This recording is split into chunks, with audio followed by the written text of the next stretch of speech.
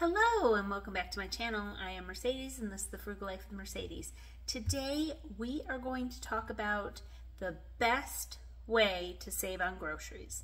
Now about a year ago I did a really long video, I want to say it was like 45 minutes or something crazy, on all the different ways that you could save on groceries.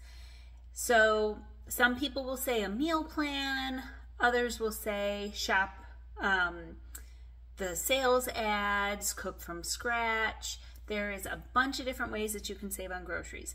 But my personal opinion, the best way to save on groceries is to have a working pantry.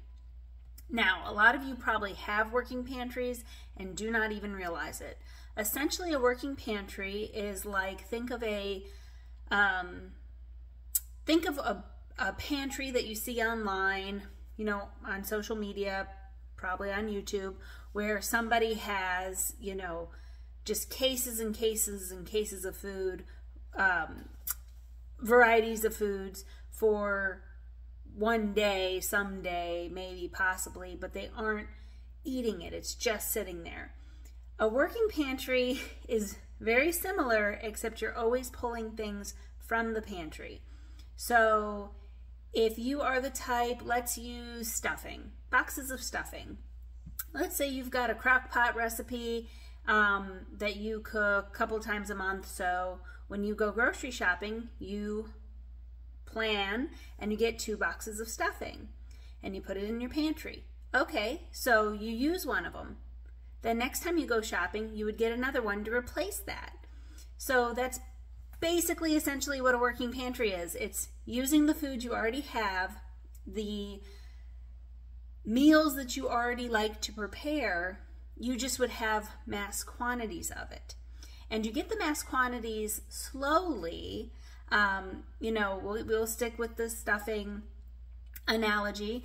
Um, let's say that you know that you use 24 boxes of stuffing in a year because you make that recipe twice a month. When you find it on clearance or sale, um, then you get to decide when you buy it and at what price point, and you could theoretically have enough to last you the year. But you don't have to do it at that large of a scale. If it's on sale, you could buy a few of them, put it in, and when you make that recipe, take it out, and then you replace it. You know, you can decide how many of each item that you want. And that's essentially what a working pantry is. It's cooking from it on a daily, weekly, monthly, yearly basis, but you never let it um, diminish completely. Because you guys have seen before where I was like, oh, we're running low on beans. I'm going to have to stock up on those.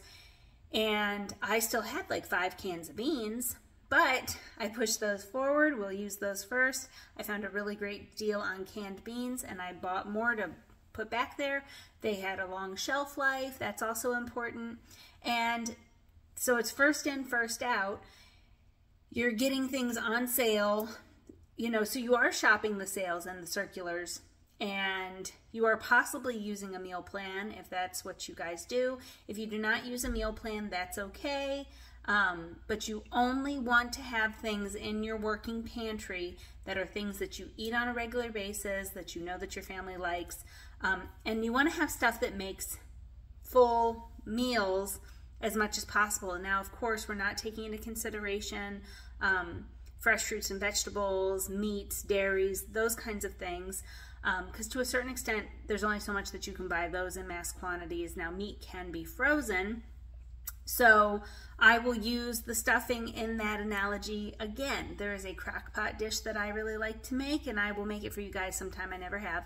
And you need chicken breast, you need cream of chicken soup, you need um, a box of stuffing, and you need a little bit of milk and a little bit of water. So that is a full complete meal. So you would want to make sure that you had a box of stuffing, chicken breasts, which you could have in your freezer, and um, cream of chicken soup or mushroom soup or celery soup, whatever it is, and that would make a meal. And so this also alleviates you going to the store a bunch of times because you already have meals um, on hand that you can prepare easily, that are already into your routine. And that would also include spices. Um, you go to the store and you get garlic, and then you see, oh, garlic is on sale, and the shelf life is several years. Um, if it, there's money in the budget, instead of just buying the one, you would buy the two. And that's, I mean, different people have a different idea of what a working pantry is, but that's how I run my house and our pantry is you get things when they're on sale, but that food is not just for someday when the zombie apocalypse happens or doesn't happen. You know, it's about having things on hand to make meals. Um, and it makes it very functional. And you always have food on hand. You get more control over um, what what you spend. Now we cannot control what the prices are at the grocery store. However, again, it's just like with couponing. If Brandon's favorite soap is $9, I don't want to pay $9. So when it's $2 after coupons, we're going to stock up on it and get it at $2.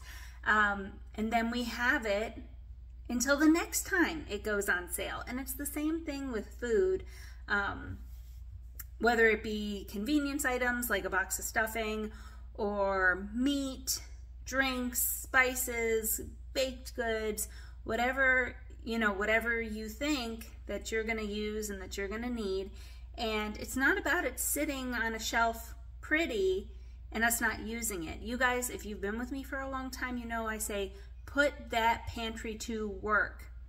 My coupon stuff, that gets put to work. That does not just sit there.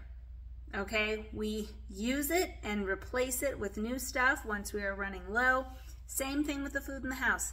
All the food in the house is up for grabs for Brandon and I at any point, um, and we only keep things in the house that we like, eat, those kinds of things. Now, I can't say both of us because there's things in the house that I really love and Brandon doesn't like, or vice versa.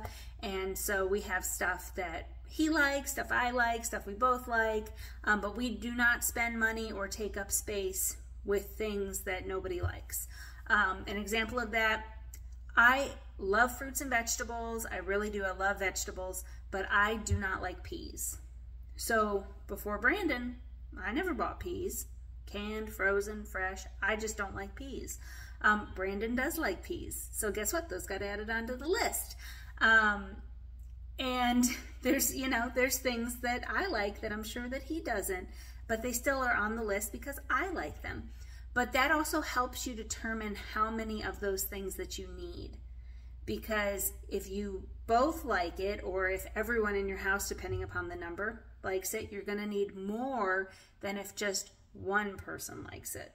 So that is the best way to save money on groceries is having a working pantry that is organized, tailored to you, your preferences, your needs, your budget, your space available, and you use the other techniques that I have mentioned in previous videos and lots of other people um, have mentioned in videos, I'm sure, of the shopping sales, using coupons, um, buying um, in season. You you save a lot on fruits and vegetables when you buy in in season. Having a meal plan, whether it's loosey goosey or very um, strict meal plan. Um, I'm not referring to what you can and can't eat. I just mean like every Tuesday we have meatloaf. If that's your thing, that's cool. Um, so you want to use that, but all those other techniques kind of fall a little bit short unless you have a functioning working pantry. Okay, guys? So please consider subscribing to my channel. If you did not know, I have an Instagram, The Frugal Life with Mercedes. Until next time, guys, bye.